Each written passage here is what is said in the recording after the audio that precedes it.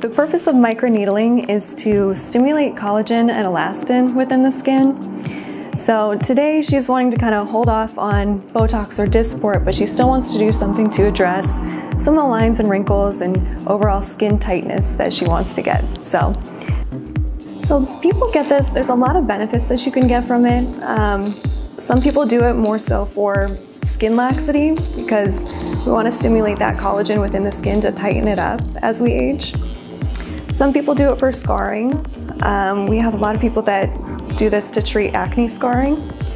So generally the scarring is a little bit more difficult to treat than overall fine lines, wrinkles, things like that. So that can take a couple more treatments. But in general, most people can see some good benefits after about three treatments. We do those about six weeks apart usually.